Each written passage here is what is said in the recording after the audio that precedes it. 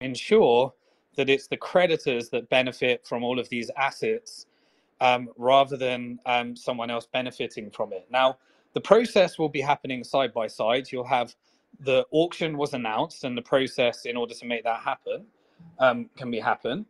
Um, and uh, there's ways of engaging in both sides uh, of the process. But um, what I think we really need to focus on um, is working with the UCC and ensuring that we're engaging in the process in the correct way um, in order to really see if we can put together the best reorganization possible. Um, and that involves a cooperation between the community, um, Celsius, the company, um, and the different parts that we've been putting together so that we've got securities compliance at Bank to the Future and the lending compliance at SALT is um, the proposal uh, that we uh, hopefully are starting to converge with. So it's not a formal pro- proposal. It's ideas we're chucking around right now. Um, and uh, we've got to make sure that we're following um, the correct process with that. Um, so with that in mind, I'm going to let a few people in. I'm just going to do it in order of people coming up. So it takes a few seconds.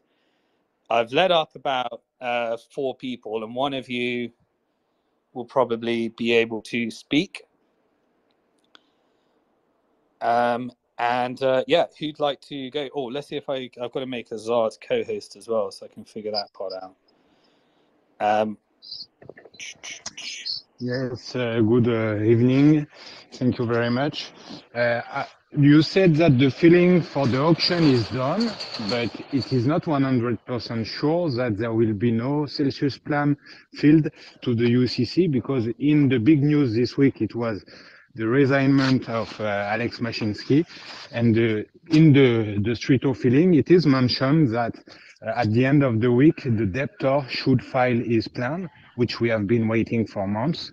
So we do we have a news regarding this debtor Celsius plan filling to the UCC.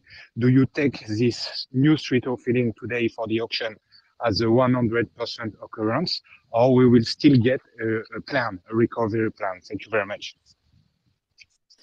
Uh, yeah, great question. So um, it was really great. If you haven't caught up on the town hall by the UCC, it's really worth investing the two hours to listen to that because they really laid out the process. Um, if we if we could mute yourself, sorry, because I think we've got a lot of um, funny noise. Um, oh, Azad, I'm just going to make you co-host. Um, if you could all mute yourself, I'm just going to. Yeah, yeah, yeah. I'm going to mute myself. Thank you. Um, sorry, very few of you make there's some really bad noises. Okay, great. yeah. Um, if you didn't get a chance to watch the UCC's um, town hall, they really laid out the process. Um, it was really, you know, really the moment that I think the community was looking for in terms of clarifying um, of next steps. Um, and so the other event that we were looking for is really uh, some of the friction. So, um, you know, Alex stepping down, which we covered last week, I think was the key catalyst for us to be able to speak um, and uh, you know that that will go through its process. But we can stop focusing on Alex and start focusing on the reorg. Um, and a reorg, uh, the debtor does have the exclusivity, um, but now we've got a change in the board. Um, we're hoping that there's a way more collaborative process um, with the board members that are probably more likely to be focusing on um, the the reorg without some of the other legacy issues that might get in the way. Um, and so energetically, it was a really big shift.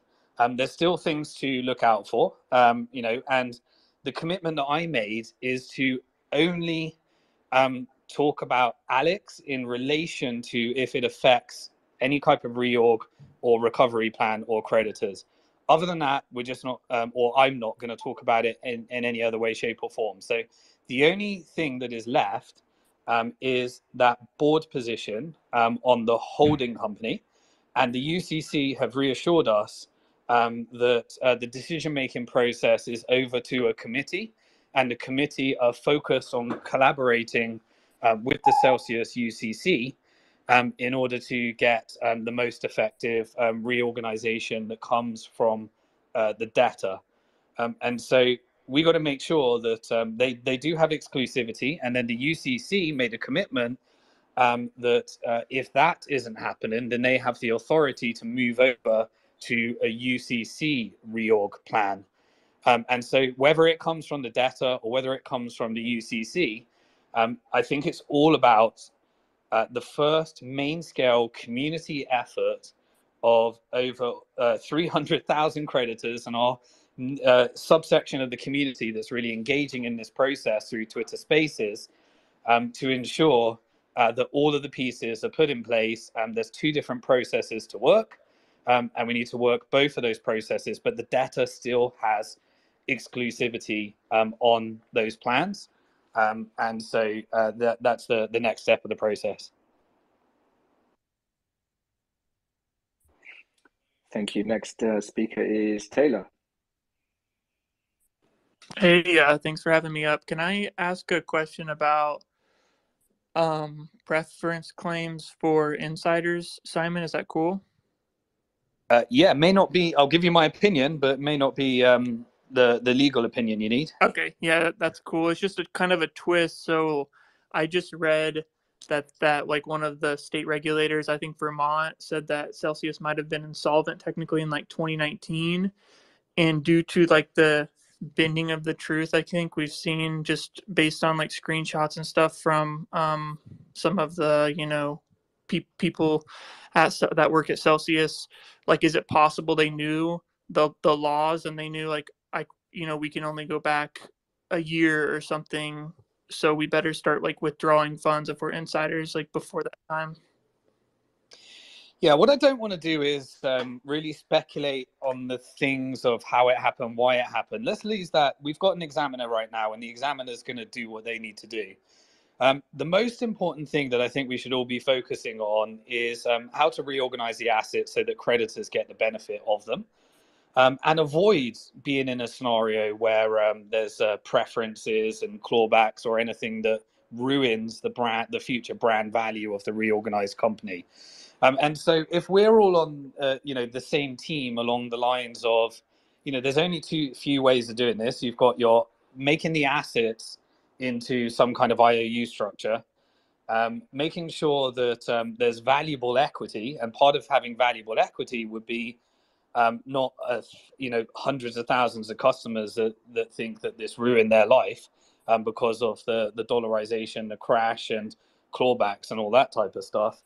Um, and a regulatory structure whereby dealing with bankruptcies is clear into the future, which is why you know regulated brokers and various other um, financial institutions um, exist because there's there's more clear processes and they've dealt with it in the legacy system. Um, so I think, here's my honest opinion, um, not legal advice, not tax advice, not financial advice.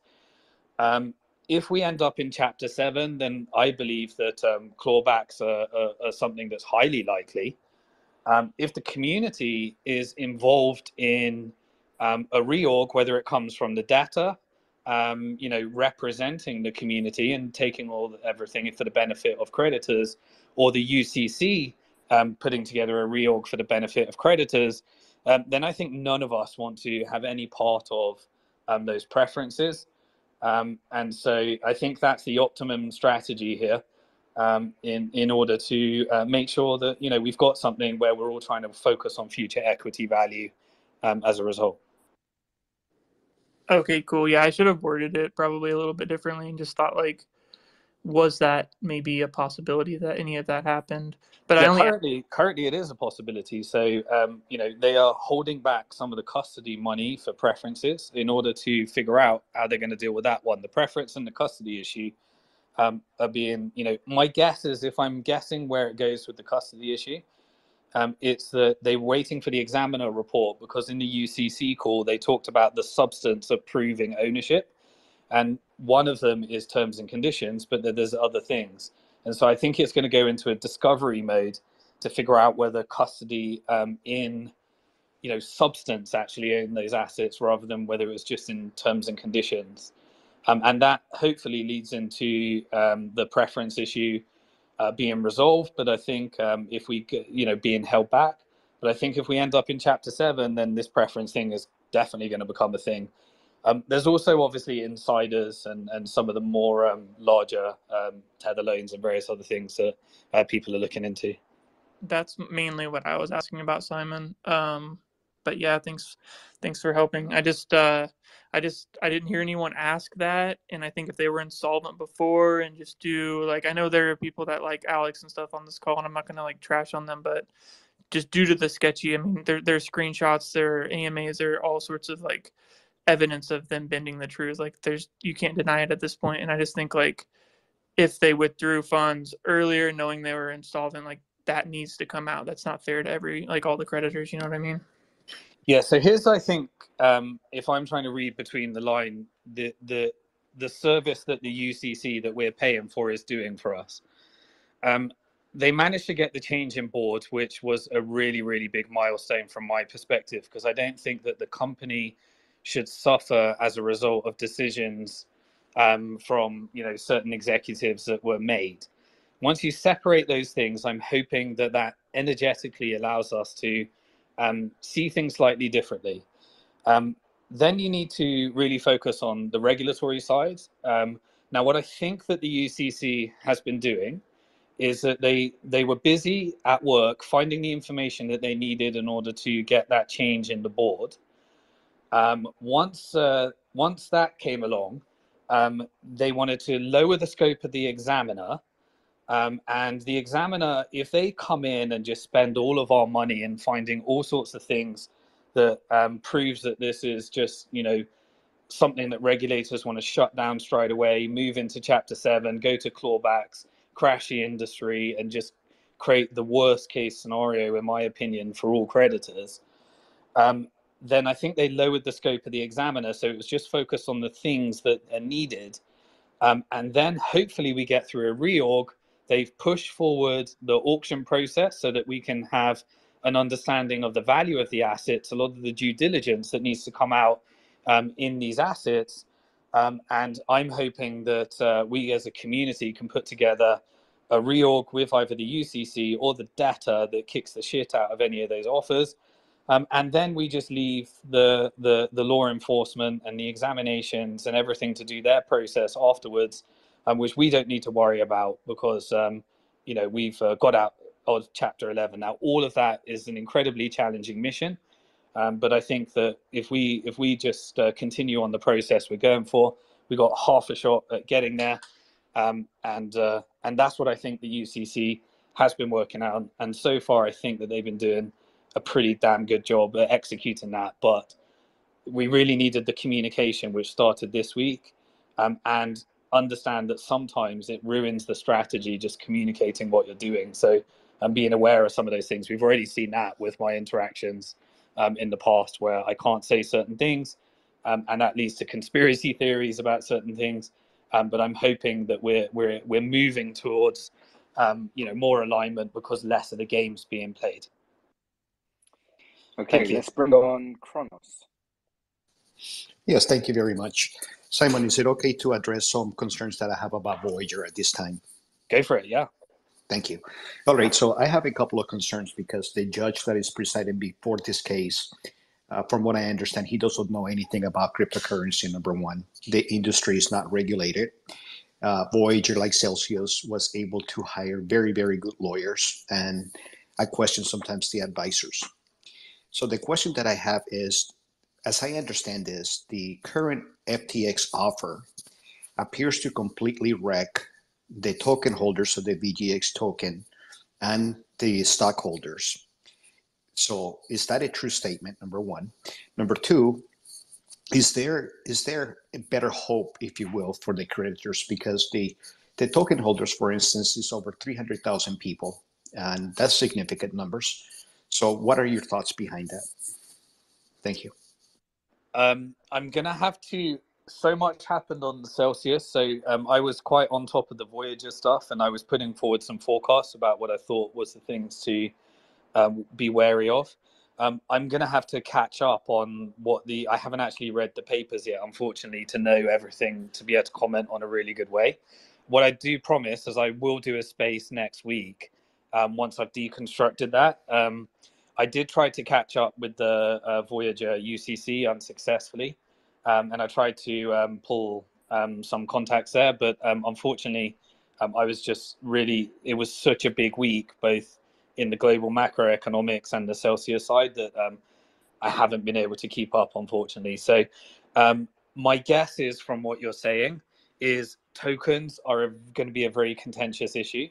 Um, and so they, I'm not sure what's happened with the token. Maybe you can inform me what, what's going on with the token.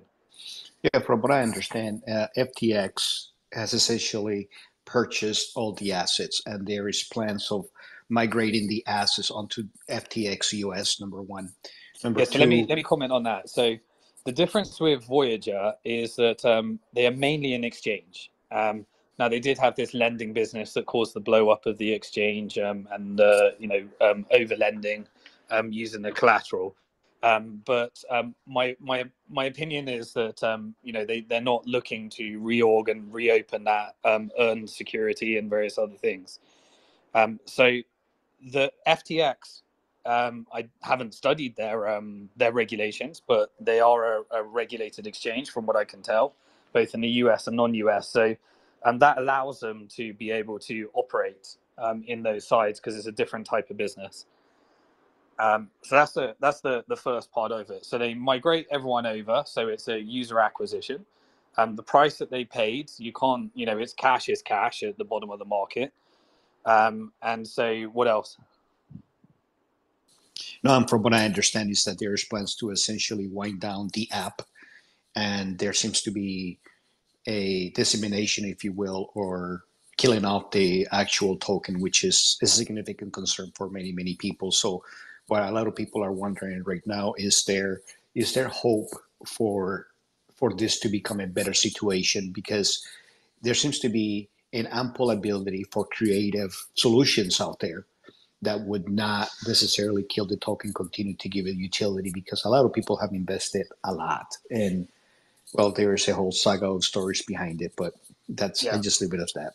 So let me let me try and interpret that into something, um, and I'll do a bit more research. But um, it all depends on whether the initial reorg plan was just a strategy to try and get much higher bids so that they could compete with the reorg, knowing that they never had any intention to do a reorg in the first place, or whether the board actually really were pushing for a reorg and whether the UCC was committed to a reorg.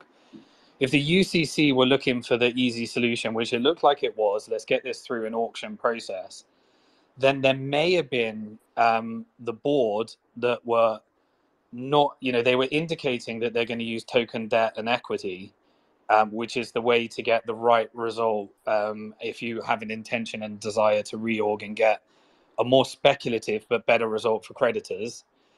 Um, versus is the hole small enough for someone to come along and fill a chunk of it and go for the easier, safer solution? Um, and so I don't know whether the reorg int uh, was originally um, a strategy to try and get more bidders in, or whether they genuinely wanted to do it. And that's really, I think, the the next process is is the UCC um, willing to do the harder work of doing a higher risk, higher return strategy um, of pushing forward a reorg, um, or are they just looking for the lower risk, easier option of what they got on the table? That's the question to get answered. Yeah, the UCC in this case appears to be completely different from um, Celsius's UCC.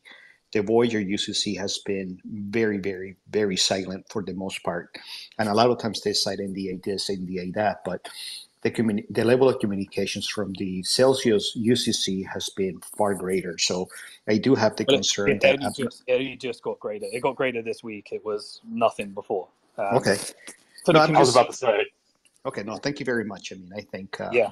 I think you'll do more work, and I look forward to listening to you again on the topic. Thank you. Okay, yeah, but the, the token side is is is a challenge. Um, it certainly is. Um, because if it was a utility token connected to the original app and the app is no longer needed, um, then what does it do and, and what is it for? Um, and then how do you get that signed off by regulators? Uh, that and then remember you still got the vote process. So whatever the final steps of um, getting this uh, through the vote process um, is as well. but yeah, it seems like there's a, a much less competitive market, um, and that it's going for the lower risk, um, lower return option. Okay, let's bring on the next speaker, Jason. Hey guys, good afternoon, good morning, good evening to everybody. Um, Simon. Okay, Hey, it's- Jason. how you doing today? Yeah, are you a penguin now? No, that's my puppy. Oh, sorry. You look like a penguin on my phone. Uh, this is my kid's nightlight. This is what I first started with, and that's how I got the purple puppy out of it. Okay. um, Uh, good to hear from you, Jason. How you doing? I'm good. Um, so, all right, first, Simon, do you think the hurricane down in Florida will have an impact on BTC since there's a good portion of crypto uh, investors that live in Florida? On the macro side, like, do you see that being a an issue with BTC? And then, Yeah, I don't. I I, don't second tend to focus on the short term stuff, but yeah, I don't see a long term impact. okay, and um, okay, now if Salt, if you when you acquire Salt and say we do get a merger idea out of this, a plan that Salt comes in and has the licenses, merges with Celsius loans and all that stuff. What is the plan with Salt token and CEL token? Would you destroy both and just start a whole new one where we can just from what's in app redeem for a new token, a, a straight up utility token, or something along those lines? Your ideas, speculation, whatever you want to. Um, to help everyone understand what we're talking about, um, the Bank to the Future token um, was something we launched to support our investors under a utility model in building their portfolio.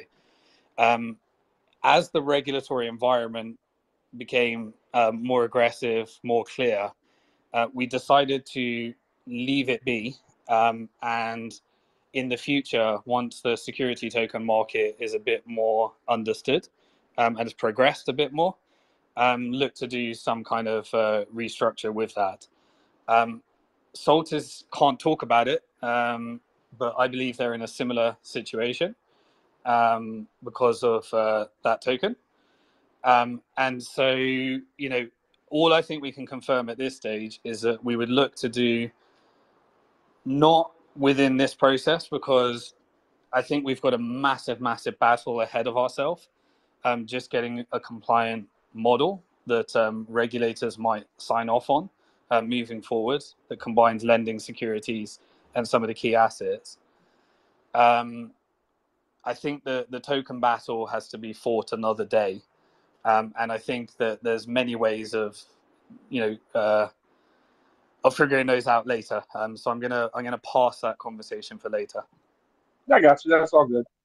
Uh, one last thing. What do you think of uh, XR or Ripple's summary judgment argument on the blue sky ruling? I, I thought it was a great uh, a great argument on going back to the uh, SEC on how they actually came up with that one prong to uh, specifying it's a contract. Yeah, I think XRP is slightly different in the the issue. It, well, it's its own blockchain and it's got its own ecosystem, so that tends to be treated slightly differently to a token built on top of someone else's blockchain. Um, so there's that, but then it's the fact that they've got this large treasury, um, and I haven't actually looked at those specific ones. So I don't want to talk about it because I haven't um, actually Oh, been Simon, read it. I- specific one. I think it's a great read. Yeah, I'll definitely The- check it out. the argument. Yeah, it. yeah. It, it, it, it's a good way to turn their stance on the Howey test against their perception of it, or how they how they came up with it, is what they're going after, saying that a contract is a contract where you need an actual contract. I see. But I, I, I it's a definitely good read. But thank you for your time, Simon. Thank you, Jason. Okay, let's bring up uh, Plan C. Yeah, hey guys, thanks again for hosting these calls. It's it's always great and a lot of good information here, um, and community engagement. Uh, I watched a video uh, this morning that Aaron put out. Aaron's been putting out a lot of these really good summary videos and and looking at the um, the motions being put forward in the courts. And he, the one that he covered today, you know, there was a lot of discussions about motions being put forward by like Vermont, Texas, you know, to do with uh, uh, objecting uh, to the sale of, of stable coins. Um, so I thought that was interesting. And then also, uh, he mentioned uh, from reading from the motion that it said that 40 different states were, are currently looking into the pre-petition investment activities of the of the current debtor. And and like on the call we had with the the UCC town hall the other day, the UCC's lawyer mentioned you know the importance of, of regulatory compliance moving forward you know with, with these reorgs so i'm just confused at and then kind of i guess my question is to you simon as well as the ucc like like realistically what is the actual likelihood of the current debtor getting a compliant reorg uh, without somebody else's assistance licenses or someone else completely like yourself or another party.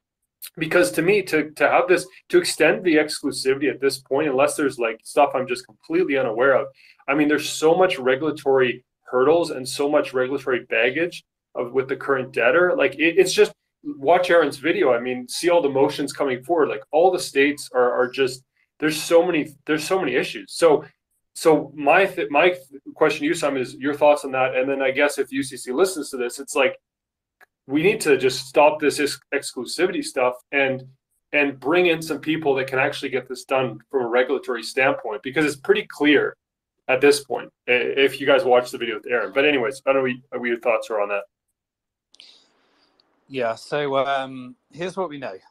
Um the world every you know regulators all around the world are watching this case um regulators at this stage have an indication of what they want this market to look like in the future.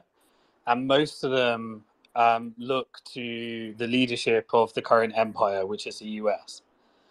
Um, now they put together their own regulations, and everyone everything does something you know slightly differently. Um, but the current empire is the one that tends to invest the most in enforcement, um, and then many other regulators follow. So the US um, is you know this is one of the most important things that they could be doing right now because how this case ends up um, could be is it's you either do this in two ways right you either go aggressive shut all this down um, and uh, just just get rid of the whole thing put it in chapter 7 and we all get screwed as creditors or you take the the what I would consider the high road, um, which is is there a reorganization where creditors could be made whole, and at the same time, we um, send a signal to the market of how uh, what registrations and licenses you need in order to operate these businesses in the future. And my hope and focus is on the second. Um, and so the, the the reason that I focused so much energy and time into that um, was trying to understand what I think the model looks like in a in a regulatory perspective, both on the lending sides and the earn sides, the custody side, um, and the trading side, um, and making sure that um, there is a model where all the pieces are available to move all of those assets to the benefit of creditors. And what we needed in order to get to the progress to the next stage is a board that was genuinely focused on a compliant reorganization without any legacy issues of trying to do it in a way that regulators don't want you to do it and saying, well, if I can't be regulated, then I'll figure out how to do it with DeFi. Um, and my my complaint was that if you go down that route, um, the regulators do not want, you know, an example of how to circumvent regulations in this case. Um, so my hope, deluded or not, is that now we have the setup and all the pieces um, to redirect the Celsius assets um, with a board that are folk genuinely focused on reorganization to make creditors whole without any legacy issues um, into a new co and um, we've got the securities pieces and so has the lending pieces, and with the the, the help of the UCC um, and a board focused on reorg, uh, we could plug that all together to create a, a story that makes creditors whole and gives the regulators the opportunity to say, here's how we want this market to operate in the future. Um, so everyone watch this, and this is what we want you to do. And so, you know, th- those are what what we need to focus on. And so these motions are just indications saying, yeah, Celsius is not going to get sign off from regulators um, unless you guys, the UCC, um, can figure out another way of doing it. Um, and that's what that's what I'm hope we can all focus on. Thanks for answering that. Thanks, Simon. Okay, let's bring on GemFi. GemFi, are you there? Hey, yeah, yeah. Hey, hey, guys. Hi, Simon. How are you doing? Man, you're full Well- of energy today, huh? How many coffees did you have? I haven't had a coffee yet. Um, I'm I'm I'm high on the community's energy to try and um, unify and, and come around and, and do the impossible. Well, it's working out well. You have a lot of people listening to you, also from the cell community. So, more power to you, Simon. I'm glad. Um, Simon, in regards to uh, Invest Voyager, so you know they're transferring. They bought them up. Uh, FTX bought them up.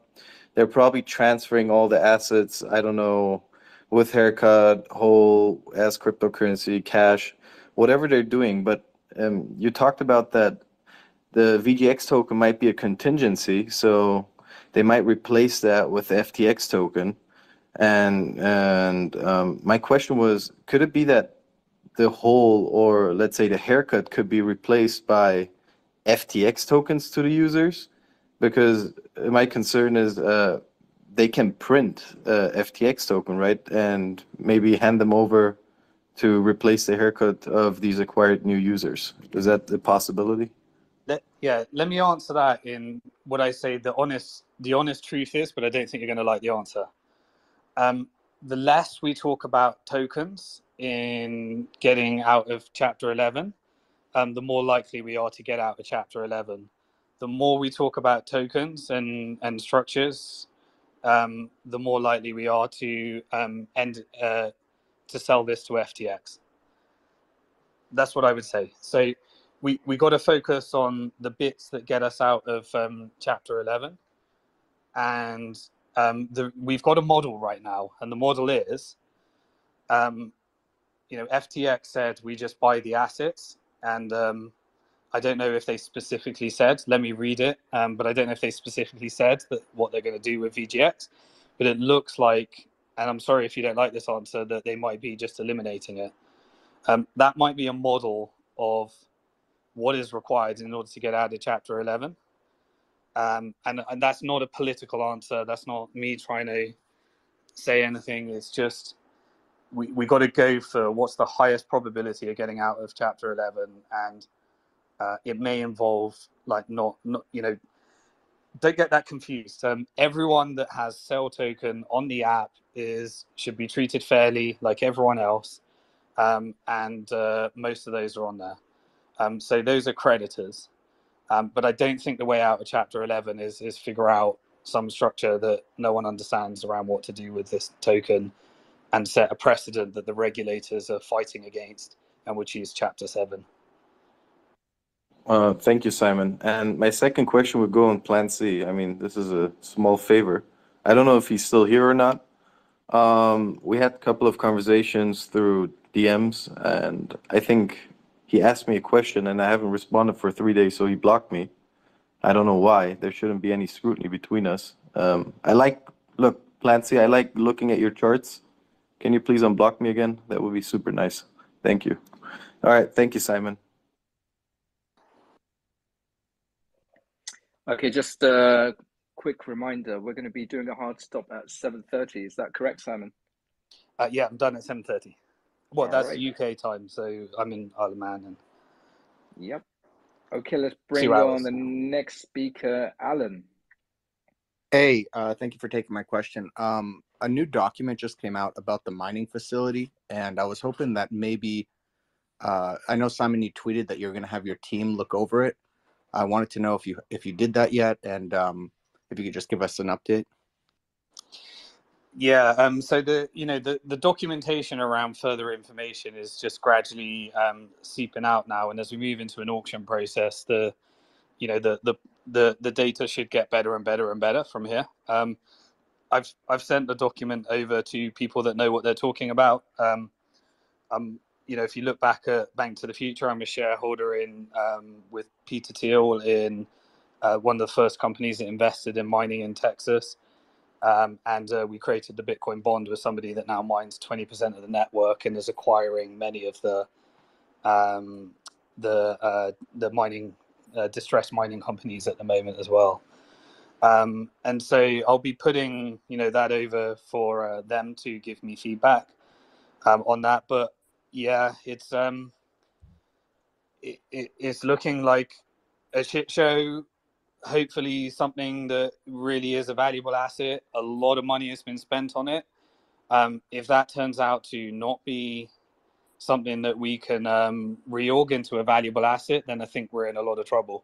Um, so I think we've got every incentive right now to figure out uh, how that Bitcoin mining facility can be turned into something that could benefit creditors. Um, and uh, we just didn't have the information, and so now we do. Uh, but no, I haven't gone anything. I haven't. It was a long doc. It was pretty hard to get through.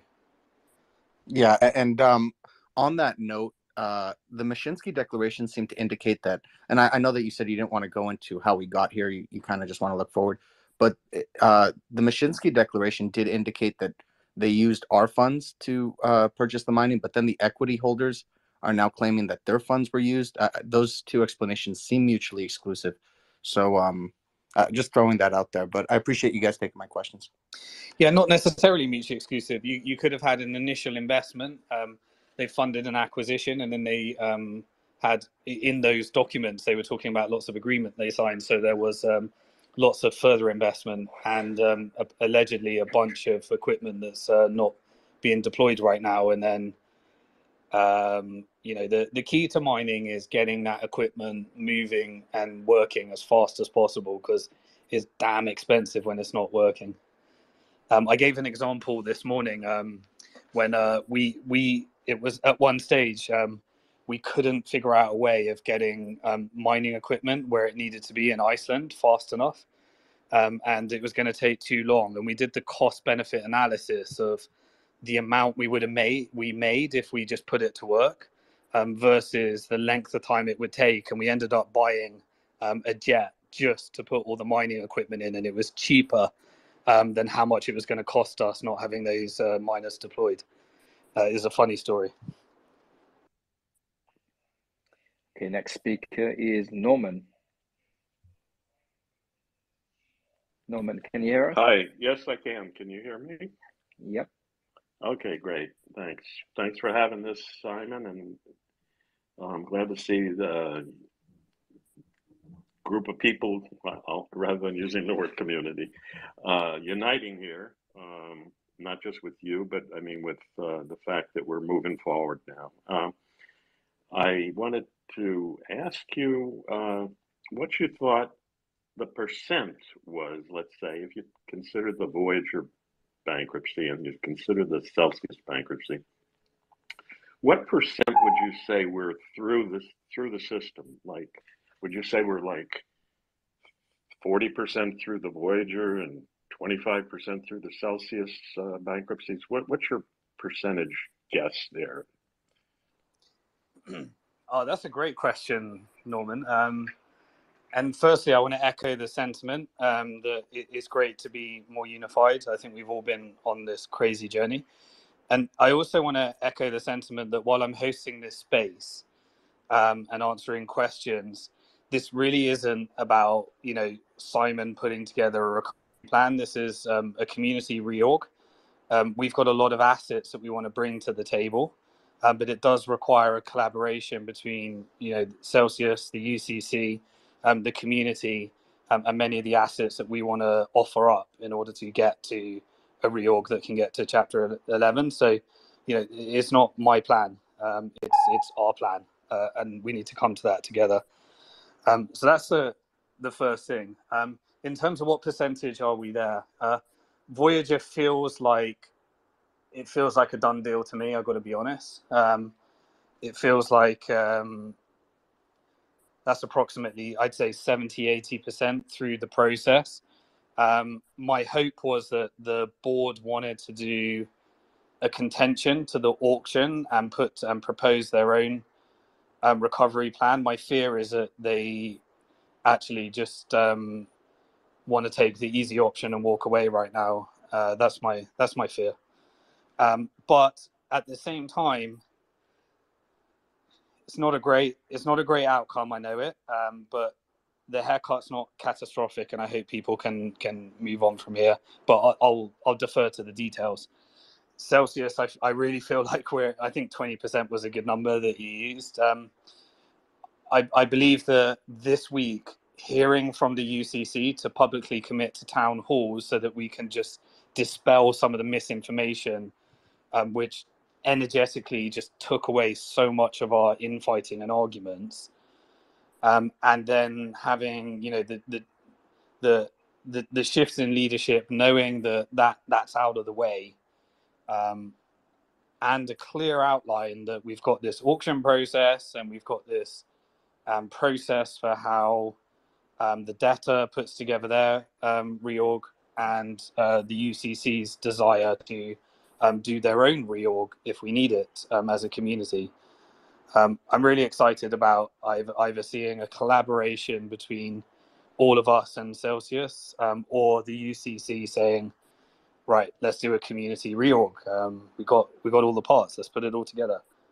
Uh, and just yeah, so I think we're 20% there. I think we've got a long journey together, um, but I, am hoping that it can be a more more exciting journey. Um, I know it's still stressful. I know people still need their money, um, but I'm hoping if we can get through this reorg process, um, at some point early next year, people are going to be able to get some of their money, um, and uh, we've got an exciting future to work towards.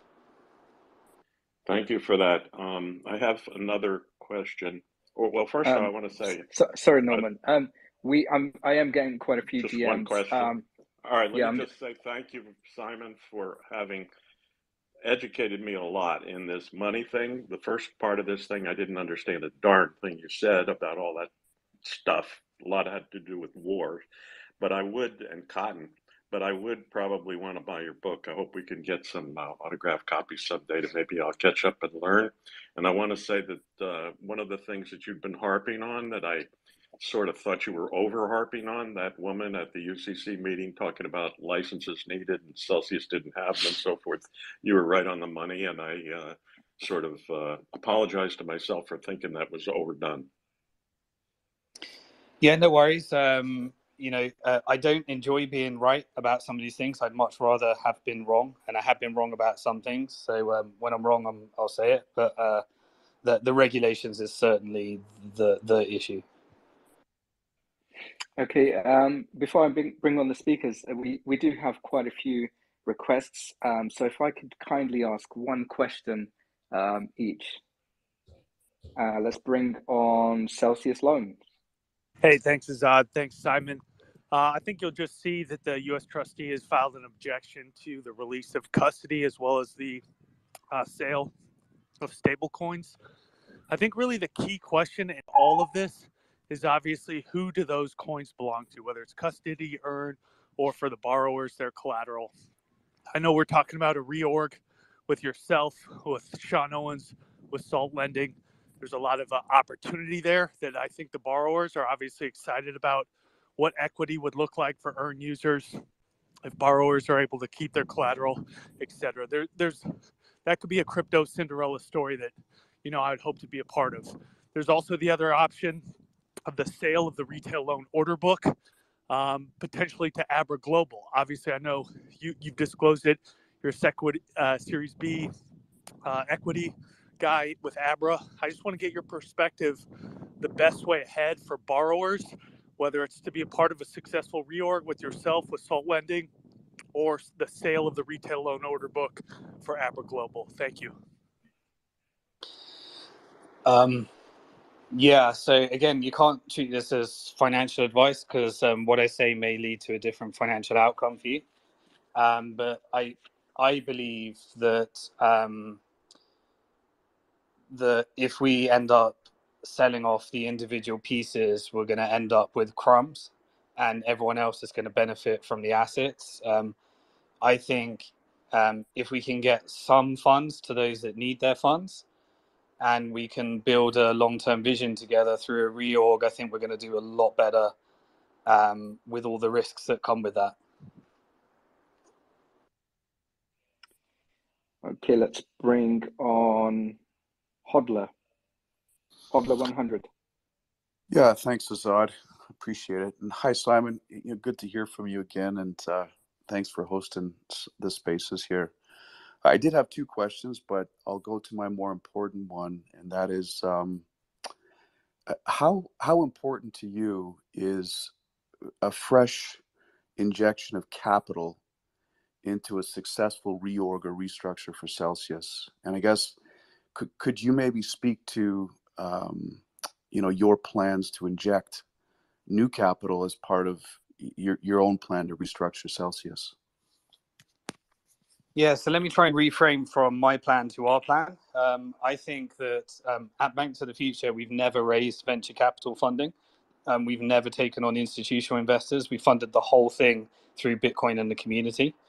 Um, and I think that um, when you combine um, the assets that Celsius have with securities law compliance, with lending compliance, I think there's going to be a lot of people that would be really comfortable deploying some of their capital. Um, in and I think you could even do a, uh, um, you know, Shark this morning came up with some interesting ideas around um, just the community funding it. I think you could do a creditor takeover, um, you know, through using this process. Um, and so I think we've got all the tools we need. I think we've got everything we need within the community. I, for one, would certainly deploy some of my capital um, that I've got locked up in the platform to something that excites me that I think would dr- drive higher returns for me. Um, I think there's other people like that, um, but we got we got to win back trust. We got to get past chapter 11, um, and uh, maybe we can come up with some interesting way of people putting together indications of interests of you know I, I, don't want to be insensitive right now because some people are really suffering and hurting and uh, we definitely don't want to be asking them to put more of their capital in if they just want out um, but it would be really interesting to see whether something like that could happen. Um, and alternatively you know um, capital raising is what i've done for my whole life. Um, that's what i did for ipos in investment banking. And that's what bank to the future I became a shareholder in all the companies simply because I could pull it together with other people investing, um, and so that gave me access to the deal flow. That uh, and uh, yeah, that's what we do, um, community funding, and uh, I think I think this is you couldn't ask for a better setup if we could uh, rebuild trust. Uh, but if we need to go out and get some big fish in, then we'll go out and get some big fish in. Let's um, bring on Ben the co-founder of Salt Lending. Hey everybody. Hey Simon. Hey Ben. Um, really uh, intense week. Uh, really want to applaud you uh, for how accessible you are to the community and, and what a what a job you're doing, um, educating and uh, standing up for this uh, community in the space. Um, there's as I stated last week, um, I intend to be uh, accessible to the community as well as this process unfolds. Uh, Sean and I are chatting uh, every day, and uh, there's there's a lot going on. But the the question I wanted to raise, uh, both to you, Simon, and to the community generally, is uh, really what would Satoshi do in this situation? Would Satoshi want to look for some sort of gamified solution that makes the community whole, or would he look for a vulture capitalist solution? So, not to go uh, too directly at it, but I, I, think we're looking at a an FTX versus BNK scenario here, and uh, I'm I'm curious what the community thinks uh, Satoshi's viewpoint would be uh, on, on the various proposals that are beginning to materialize. Um, unfortunately, I'm not yet in a position to answer many questions. Uh, that will be changing, I think, over the next week or so. Um, but really, just great job, Simon, and uh, keep it up. Yeah, thanks, Ben, and thanks for everything you've done and the whole journey you've been through, and the ups and downs, and uh, you know the the wins and the losers, and um, that's what being involved in this industry is. And um, I think it's interesting to return to what would Satoshi do. Um, he he originally talked in the Bitcoin Talk forum about the concept of um, you know tokenized assets and uh, various things on on top of Bitcoin and um, you know, he did all that. Here's what I would say. Um, community funding is definitely a step in the right direction, but the only thing that I believe that will get out of Chapter 11 is a CeFi solution um, and a demonstration of how these um, services can be operated in a regulatory compliant um, way. Um, if in the future, uh, when all of the, the the regulations and the DeFi space progresses, we've we've taken advantage you know advantage of that in two ways, which is that we fund um, and create securities where you can invest in such opportunities. You know, we did the Ethereum ICO, um, and uh, we allowed people to invest in compliant with securities laws. Um, and we did um, Ethereum mining and various other things. Um, and eventually, I do genuinely believe that we will disrupt ourselves um, with something more decentralized. Um, I don't think the time to disrupt ourselves with something more decentralized is um, is going to get us out of Chapter Eleven, um, and that, that's what I think. I think I think we've got a community that would um, be really interesting in figuring out how we hedge our bets because someone will disrupt the the centralized version with the decentralized version. So we might as well eventually disrupt ourselves. Thanks for that thought process. Thanks, Ben. Okay, let's bring on Bitcoin class of 2011. Can you hear us? And if not, uh, let's bring on Joe Lair. Thanks, Azad. Uh, Um, so I was uh, on this. sorry, sorry. Bitcoin class of 2011 is with us. Can you hear us? Oh, okay. Go ahead, Joe. Sorry. Okay, thank you. Um, so uh, briefly, I was on the uh, spaces last night, and like Simon said, I think there has been a real turning point with with the community. Um, it's no longer actually, Simon, if, if I could summarize briefly and and correct me if I'm wrong on any of the facts or sentiments from the conversation last night. Um, basically, what I what I took from it is that this is no longer about Simon's plan versus Alex's plan. This is about how to make the community whole. And uh, to Richard's point, I think the decentral, decentralized part of this is the process that we're all going through together in figuring out how to uh, maximize the, the state to make us all whole.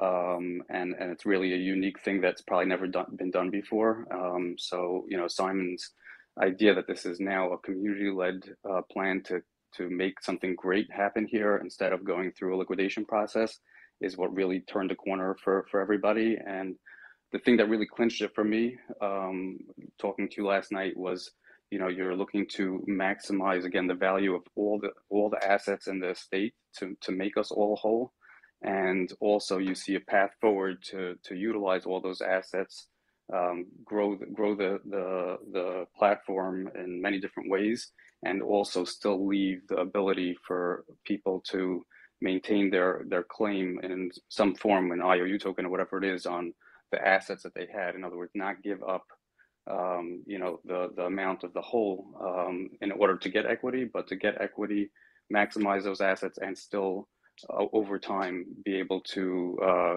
claim as Celsius, you know, becomes profitable to be able to uh, recoup um, through Celsius and get 100% of the tokens back. Uh, did I miss? Did I get anything uh, wrong in there? Yeah, I mean, you know, it, it's kind of um, there's there's different ways of carving the same things, but there's only so many tools you have. You have an IOU token, which um, if it is a token, it's going to be a security token, but you can do it without the token as well. Um, you can have an IOU security, um, but you know we're in crypto, so um, we think that um, you know we got integrations and relationships with um, platforms that can do that. Um, and uh, then you've got equity, and we've got a platform where you convert your claims into equity um, and put together a model for how that's optimized. Um, and then you have, um, you know, you, you have all the assets, and uh, the, the his his the aha moment that I hope um, everybody has. Um, we're in this process, and either the debtor, Celsius, is going to put together a reorg, um, or the UCC is going to put together a reorg, or we're just going to sell all this shit off and give it to other shareholders like FTX. Um, that's the, the first thing. That's the game. Um, which one do we want? Well, let's just decide. Um, if if Celsius do it, it's faster. Um, if uh, the UCC do it, then it may be more optimized. Um, who cares? We'll play those processes to try and get what we need.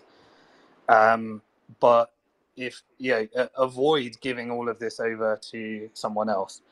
Um, now there are there are three parts of the of the equation that I believe need to be plugged together in order to get out of Chapter Eleven. Um, the first is you need um, a, a viable company that has the ability to be funded, which means that there needs to be a compelling vision that you can pitch to investors. Um, at the moment, you can't find investors for Celsius, I don't believe. Um, somebody can mute themselves. um, I've got an echo. Is that you, Azad? Or okay. Um, you need securities laws compliance. Well, that's what we've been working on for a long time. Um, and then you need um, lending law compliance. That's what Salt's been working on a, for a long time. And then you need a shit ton of assets to deploy um, for the benefit of creditors. Well, Celsius spent all of our money on a bunch of assets, and so let's make sure that those all go to creditors. Um, there may be, you know, it, it's mining, it's staking, um, it's uh, a bunch of private equity investments that they made, you know, all in the public information. Um, and uh, let's put all, let's put all that together. We've got the components. Uh, we just need to plug it together in the correct way.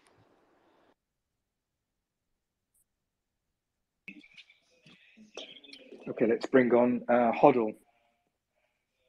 Hoddle Amy. Okay, let's bring on Justin. Hey, Simon. Uh, yeah, first, uh, Ben from Salt Lending, he was asking what the community thought.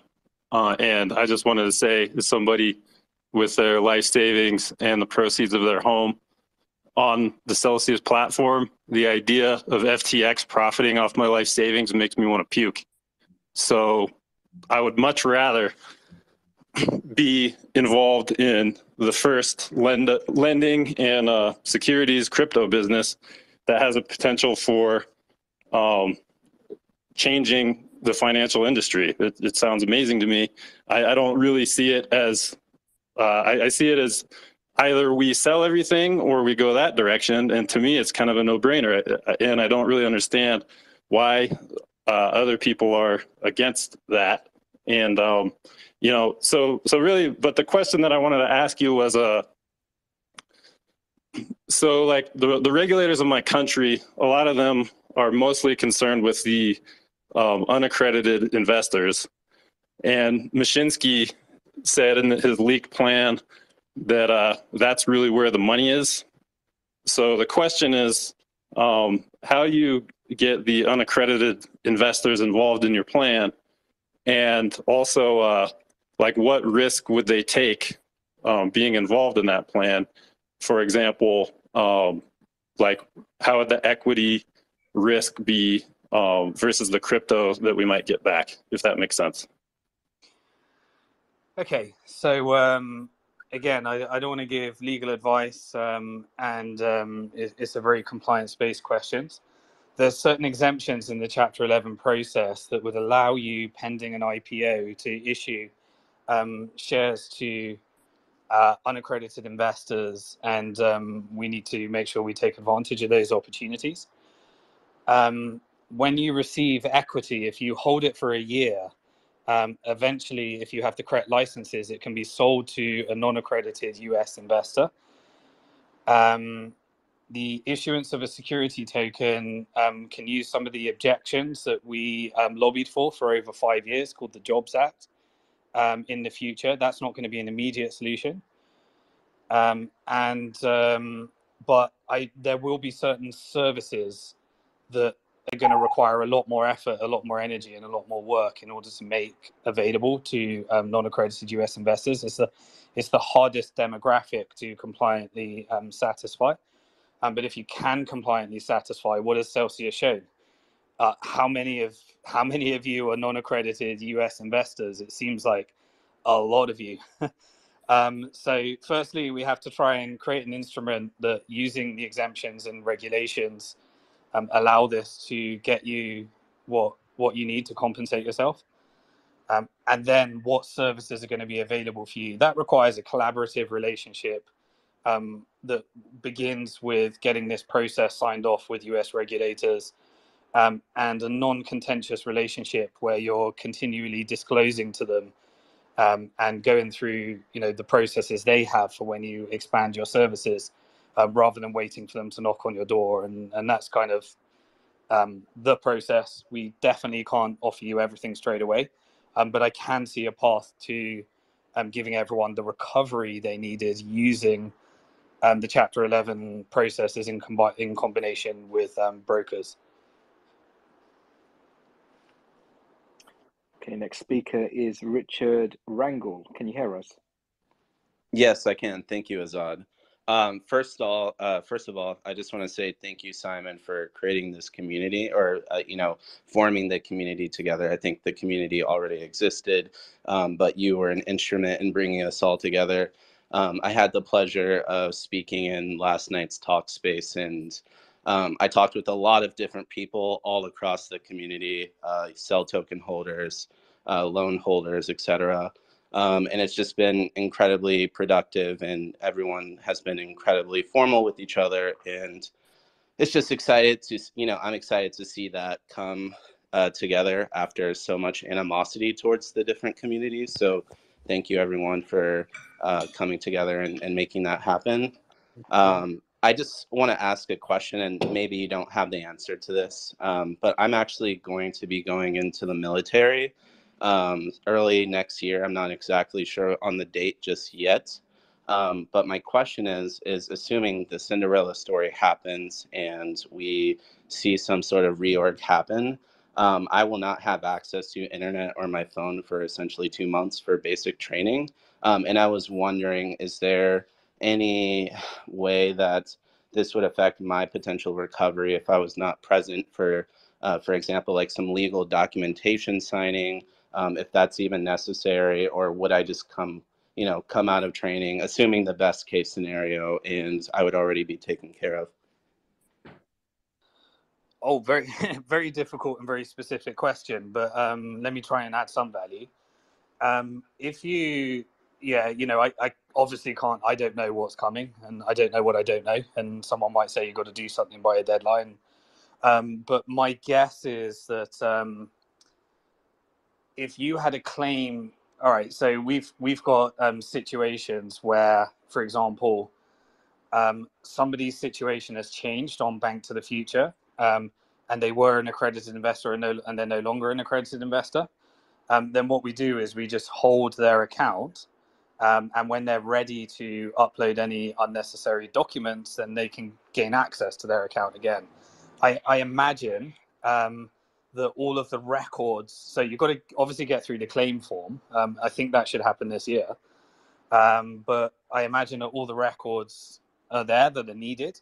Um, and, uh, you know, everyone would probably need to re KYC um, onto new platforms um, if any of these instruments were issued.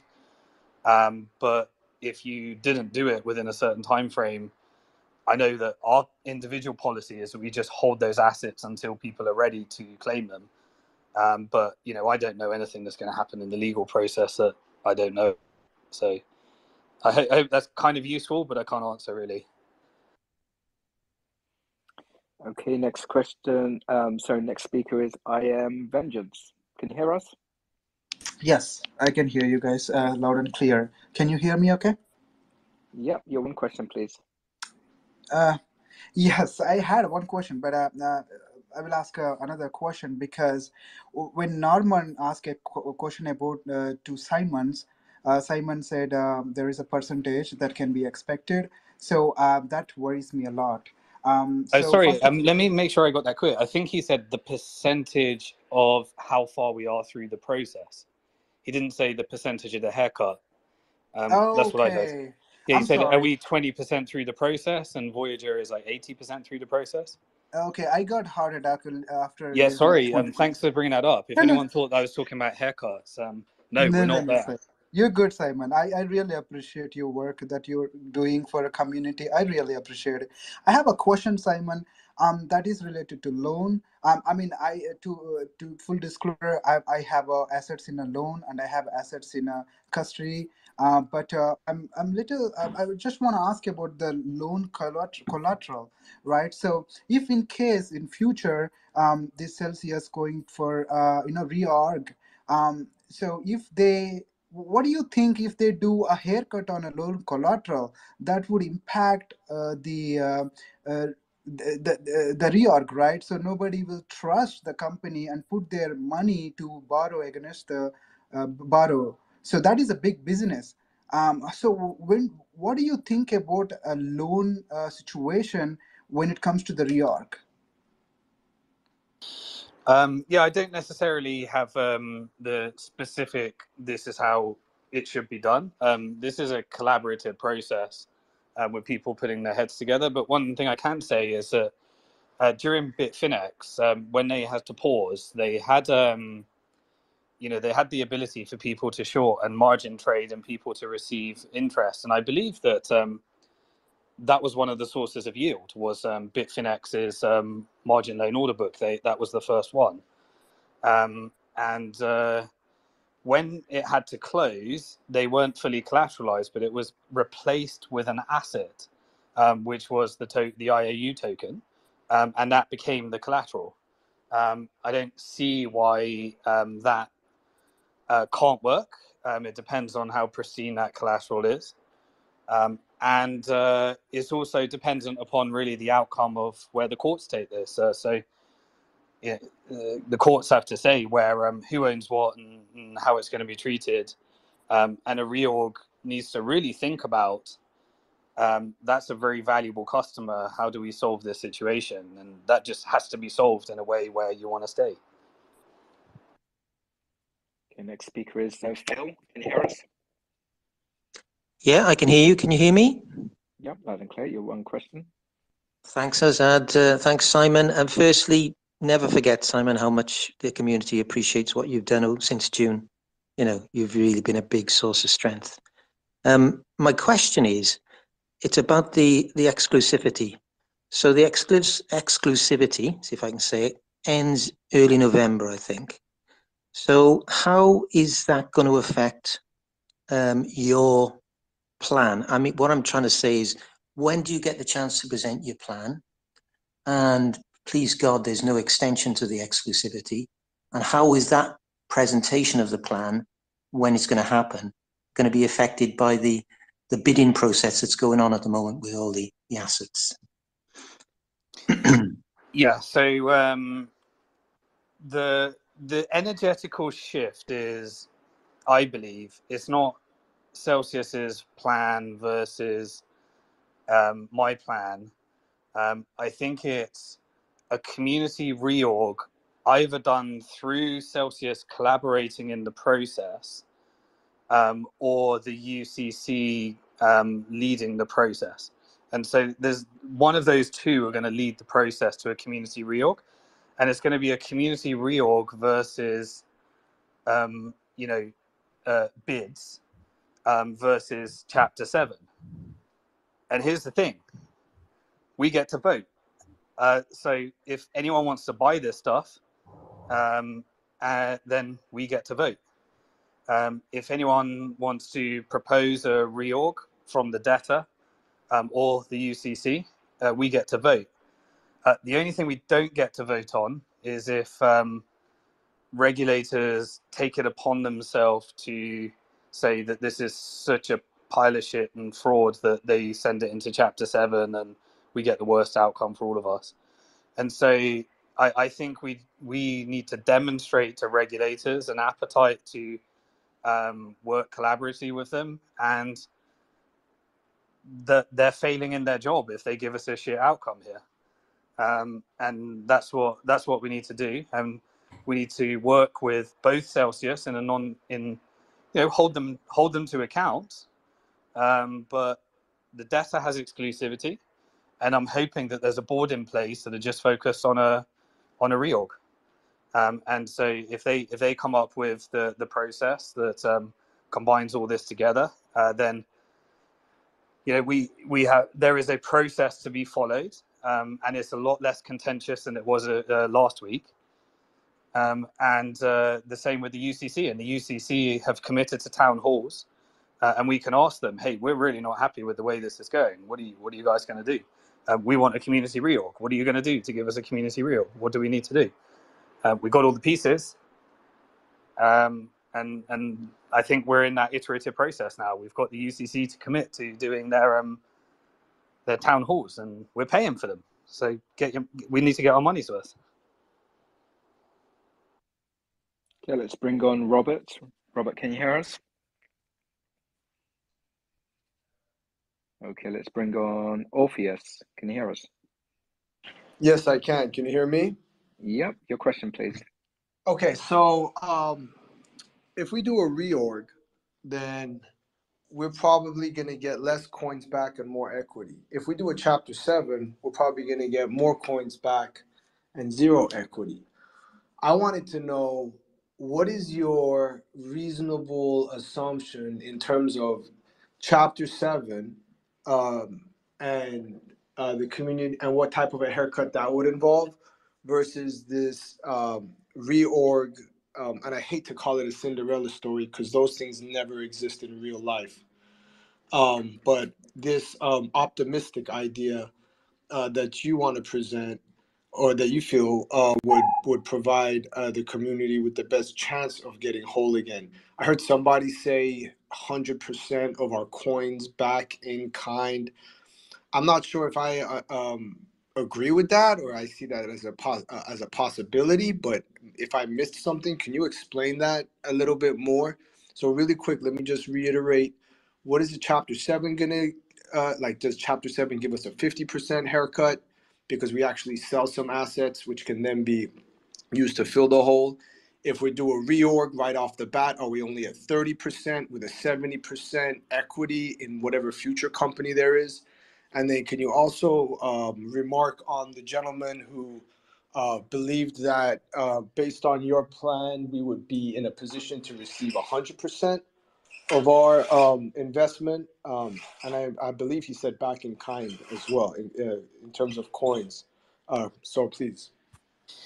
Yes, so um, check out the Bitfinex hack recovery video um, if you want to see the structure that did produce a Cinderella story um, that never should, um, and it, and it did.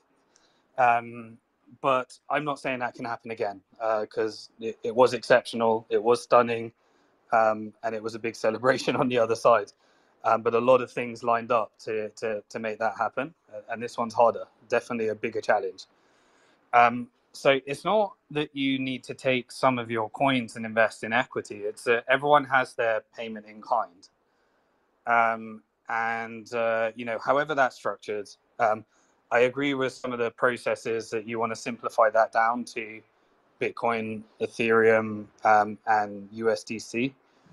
Um, I, I think that's uh, a, a, good way of doing it. Um, and uh, then you have your your your assets, and then you have a hole, um, and that hole needs to be filled with something. It could be filled with um, the appreciation of an IOU token, security token, or it could be filled with equity to the value, and those assets may not be worth the hole, or they may be worth a lot more than the hole in the future. Um, in the case of Bitfinex, there was a 30% haircut, so everyone got 70% back immediately. Um, they uh, had the 30% was filled with an IOU token, um, and that that uh, token was uh, convertible into equity or had the ability to sell it, um, or you could just hold it and receive your money back. And if Bit, if the customers didn't stay with Bitfinex, then they would never have been able to repay. And if a percentage of them didn't convert to equity because they believed in the future of Bitfinex, um, then they would never have been able to repay. So all of those came together. Uh, and so that really comes with, uh, so it's not about, you know, if then we wanted to do something like a community creditor takeover, then that would be a solicitation to ask people if they want to invest further. Um, and people would just make that choice if they wanted to um, it wouldn't be something that you'd be forced into. So it's just it's just about filling the hole. Now, under a bid, if someone comes along and pays two to three billion dollars for all of the Celsius assets and it fills the hole, um, then great. I just don't think there's an investor out there. I know that because I tried them all, um, and many of them were willing to commit, but they needed a company and an equity um, that they that they understood and believed had a future. Uh, and so if we can create equity that um, people are willing to invest into um, that has a future, then investors are easy to find.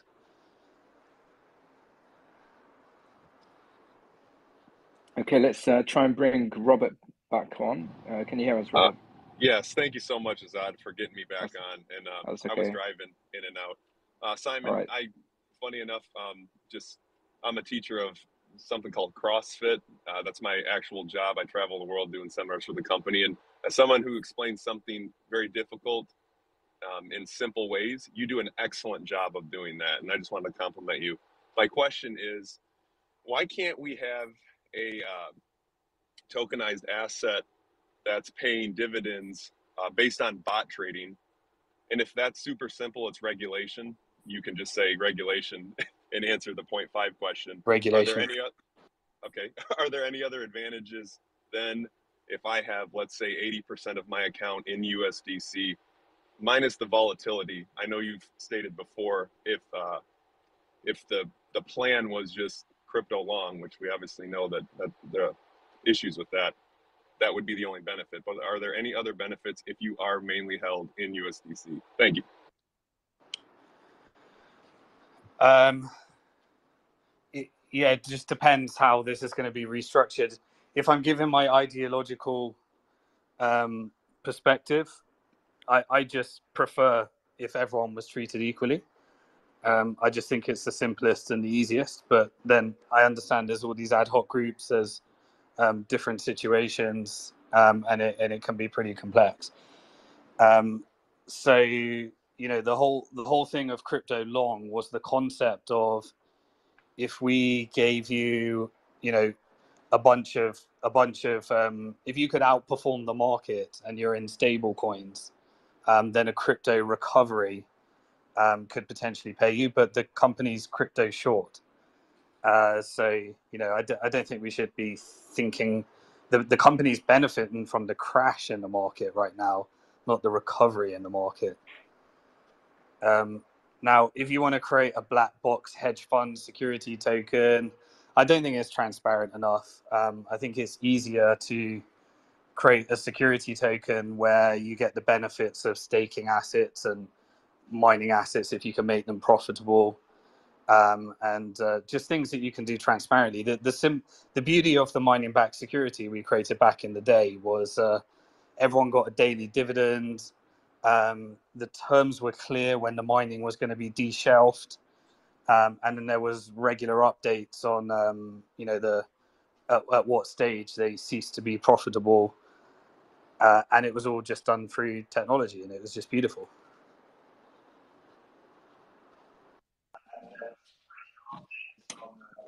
Okay, next speaker is Imi V. Hey, Azad, thank you so much. I appreciate it. Uh, Simon, thank you so much for holding uh, these AMAs. To be honest with you, I didn't know what a Twitter space was until I started listening to you. Um, I've had the, the opportunity to ask this before, but I'm kind of curious from your perspective again. Uh, I've reached out to the UCC. I was one of the many people, thousands of people, that had a loan that got liquidated. And it seems like when I look at recovery plans, I look at communication, that group of people is not being addressed. Um, based on some of the things that have happened recently, do you still think there there's any um, action that people like myself can take uh, in regards to people that were liquidated during the time where things were being uh, halted to Chapter 11, where people are now protected, where they're not getting liquidated? Yeah, it's up. It's up to you whether you think um, you've you've got a chance of suing a bankrupt estate. Um, personally, I don't think it's the best use of energy uh, because the money's not there. Um, you've been shafted. You've been treated badly. There's an examiner. There's an investigation. Um, you know, things are going to come out. But at the same time, I appreciate you might want to hire your own counsel and you might want to pursue, and it might lead to a better result for you. Um, but to to me, you know, it's, it's just ideologically me. I'm I'm not I'm not a sewer. Um, I've never actually sued anyone. Um, I, I tend to try and just fight back in a in a way or construct a win-win. It's just kind of me. Um, but then sometimes you end up in situations where litigation is the best one. I think it's an individual decision. I don't think I could give you advice on that. Okay, next speaker is Daylong. Can you hear us? Yes, I can. Thank you very much. Uh, thanks for letting me uh, have an opportunity to speak. Simon, you're a great guy. Uh, I go all the way back with you to the Bitfinex disaster, so uh, I'll send you an email so you know who this is, but I like to uh, keep my anonymity. Um, I think we can all agree that the future of this entire industry is based on Bitcoin scaling. I don't want to talk for people, but I just think that's uh, um, evident to all of us. I would like to see you, Simon, explain to the UCC and their and White and Case because I don't think they know this because they're not one of us. That you know we can depend we can we can't depend on Bitcoin saving the day to use the words you used uh, a couple weeks ago in the Bitfinex case, but we kind of have to do that anyway, or we should do that anyway because the whole process or this whole industry depends on Bitcoin scaling. So if we give it 24 to 48 months at a maximum, hopefully a lot less than that, for Bitcoin to continue to raise in value, that would, and if we did the plan where we got equity, all of the assets that Celsius has or whatever its new name is will also grow. The mining, the lending business, that will all grow in value relative to the dollar and then make us whole. I think all we really need is time.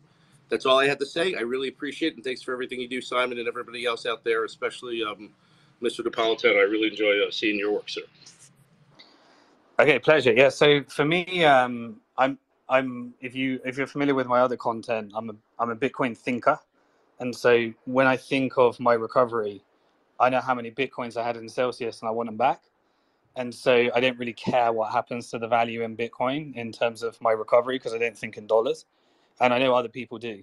Um, so for me, it's about deploying additional assets that give me an opportunity to get my Bitcoin back, um, and I don't really care about the dollar value of those Bitcoins. But obviously, you know, mi- mining and various assets are dependent upon the performance of the industry. And the thing that did say Bitfinex, as you probably know, is that we went into a raging bull market um, and uh, Binance became this monster um, and all that tether was deposited because they didn't have a bank account. Um, and uh, the industry just recovered and we entered into the ICO boom. And, uh, you know, that's what led to the recovery, uh, as we know. So, yeah, it's. Um, I think the UCC does know that we're all very crypto bullish. I, I've never heard them like advocate for um, hey there's a bunch of people that want dollars back i've only and they even in the town hall they even said it would probably be more complicated and more expensive to actually liquidate these assets and not do crypto in kind um, but yeah um, I, I, think i think there's only one way of filling a big hole and that's the long term um, i don't think it gets filled quickly okay next speaker is bradley Bradley, can you hear us? Hello. Okay, Bradley's not there. Uh, Johan. Yes. Hello. Can you hear me? Yep, loud and clear. Yes. Hello. Thank you for letting me speak. Now, I I have a sort of question about the ownership of assets on the Celsius platform. So, um, just to let you know, I hold Earn account, I hold CEL token, and I'm a borrower. Now, in my view, the ownership status of different assets will need to be clarified before there can be any kind of recovery plan. Um, because you cannot consider, for instance, custody account asset as an asset that is Celsius to even sell. Uh, same would, in my mind, go for collateral of loans. And I would like to see or understand what Simon thinks about this. Sure. Yeah, I think the court's going to um, the court's going to determine that, um, and um, I think we should be really engaged in that process and that battle. Um, but that's going to be determined in court. It's not going to be determined by us. Um, and uh, once that is resolved, then um, it'll be a lot easier to figure out the the real because then you'll know whether you know who you're spreading the the hole uh, who you're spreading the hole across and who's getting the haircut.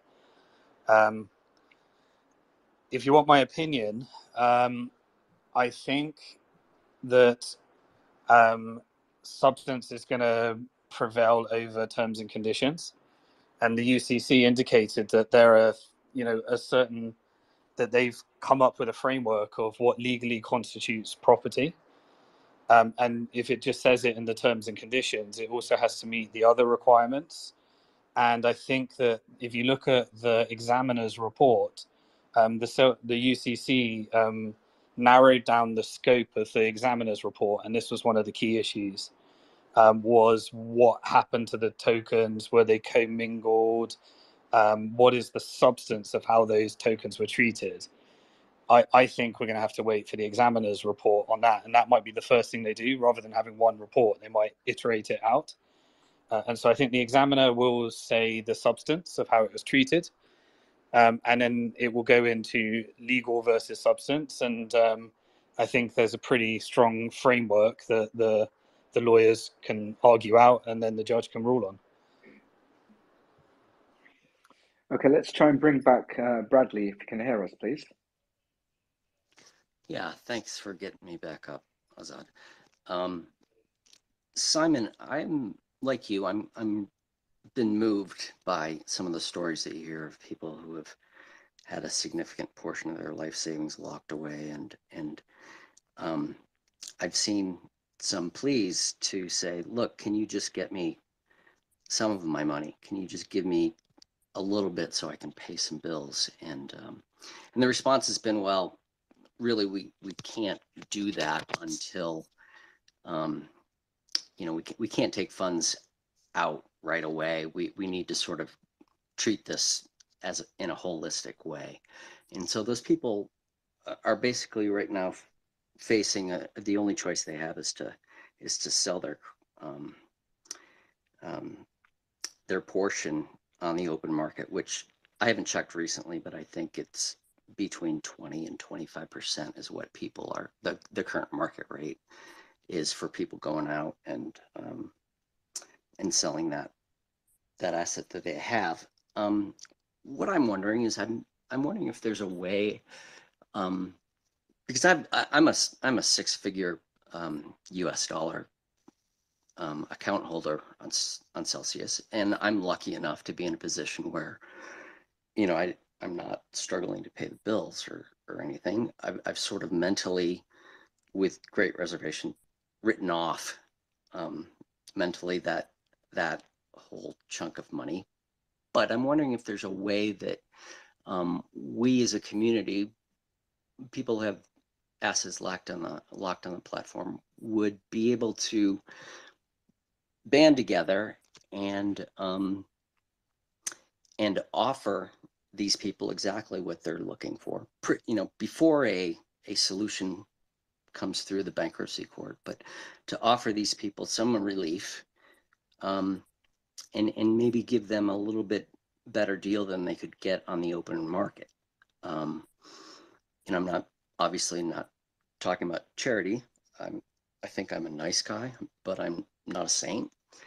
But some sort of situation where you would be able to offer those people what they need in exchange for taking on some more risk in terms of um, yeah you, know, um, you, you get the idea Yep. So, I mean, if anyone wants to come up with a free market solution to that, then um, the community is welcome. Um, you understand the challenge. There's there's certain things which are challenging about that, which is fraud, scammers. Um, you you have to overcome those challenges. Um, but I don't think the court is going to be able to find a way of paying people out until everyone knows who owns what. Um, so I, I can't think of a solution for that. Um, but yeah, if someone else wants to take the mission, then the only free market solution I know is selling your claims. Um, maybe one thing that was interesting was um, essentially with the IOU token, um, the most skeptical people sold it at 30 cents. Um, and the it actually became a prediction market for the likelihood of recovery. And so you may start to see those prices go up as, as time persists. Um, and as things get um, more more bullish, but yeah, I don't I don't know how to solve the issue of I need money now without getting um, someone that's only willing to pay a very low price in order to take the risk, and that's the market. Um, but yeah, if you if anyone's got solutions to that, I I don't have one unfortunately.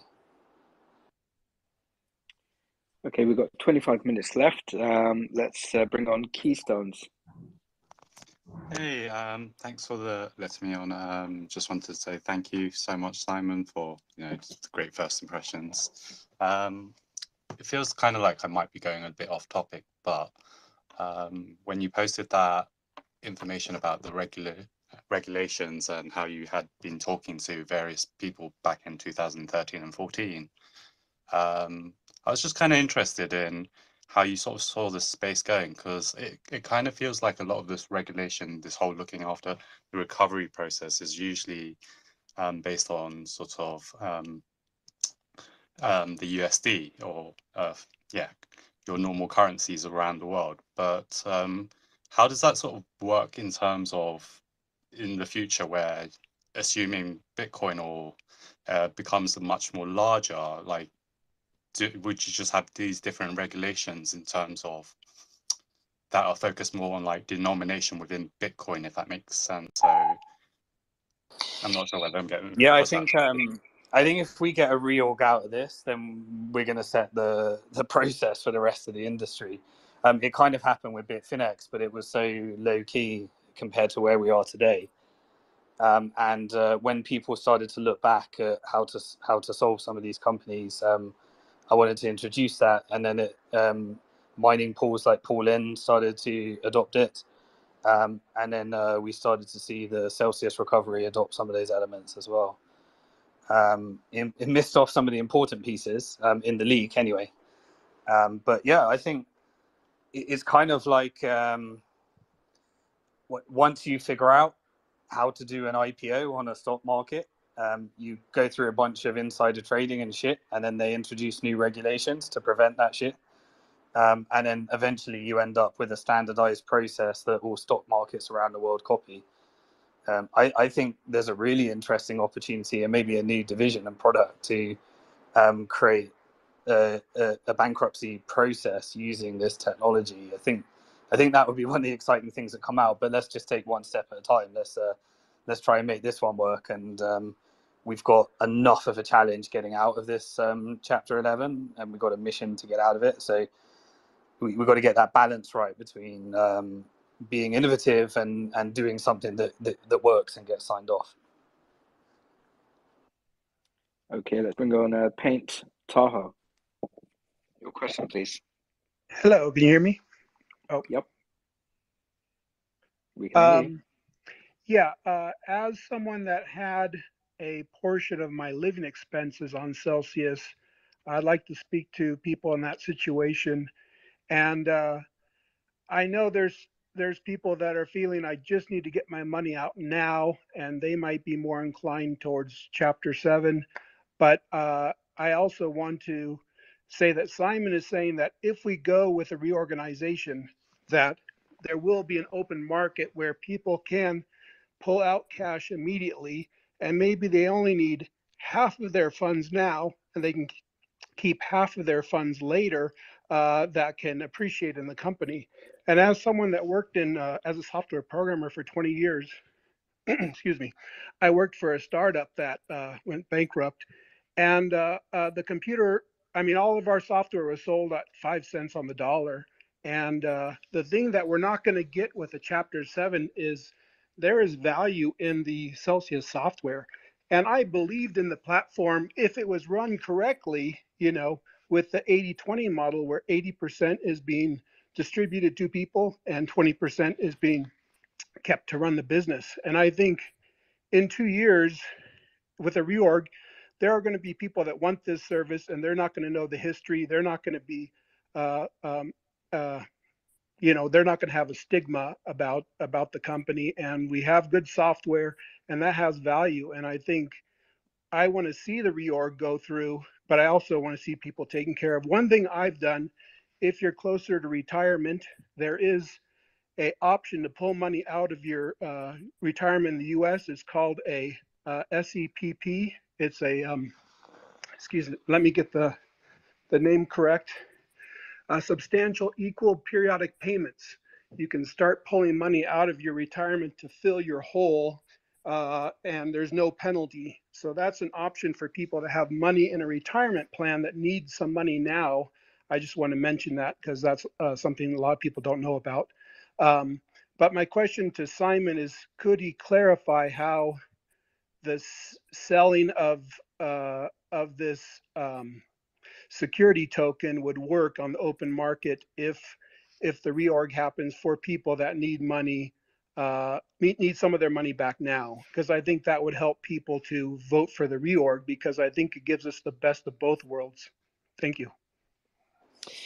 Yeah, so um, you know, you have funds which are available um, straight away. Um, that needs to be figured out. Um, so those would be on the platform, available to people to withdraw with maybe incentives to stay, and those that need to go go. Um, you could have a claim on future revenues through a security token, which could be tradable on a security token market, and um, it's the market that determines the price. Um, you have illiquid equity with a bank to the future secondary market where people are looking to contribute equity into their retirement plans every month, which produces a flow of investors that may want to purchase what you're what you want to sell. Um, and uh, yeah, so the, those there is security token exchanges. There is um, a private equity uh, market and on Bank to the Future.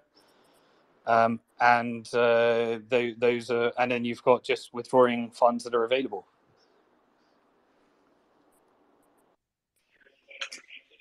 Okay, let's bring on uh, Anthony. Hey Simon, how you doing? Great, thank you. Yeah, so no, I was reading over the Voyager thing. I know I heard you earlier say you didn't read up on it yet, but I just want to fill you in on something that I thought was very interesting. So, of course, uh, we know FTX basically purchased um, the assets and basically all the customers for $100 million, right? That's pretty much what it came down to here. Mhm. Um, we don't say it again. Yeah, sorry, disagreeing with you. Carry on. Yeah.